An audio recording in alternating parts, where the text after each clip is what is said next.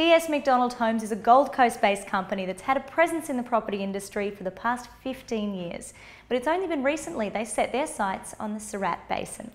They've already built dozens of homes in the region across Miles, Wandoan and Chinchilla, and exciting new developments in 2014 will see their own estates being built.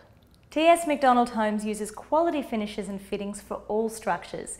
Each house has Smeg appliances, stone countertops throughout kitchens and bathrooms, and ducted air conditioning. There are large inbuilt cupboards in bedrooms and tiled courtyard dining areas.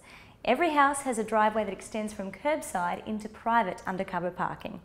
We've really made sure we've tailored the design of the homes to suit a secondary market as well, so it's not just a straight investment product we make sure we've got a much higher quality level than your general investment properties. In terms of actual development, the numbers out here, we've probably got at least another three years in front of us just inside of Miles.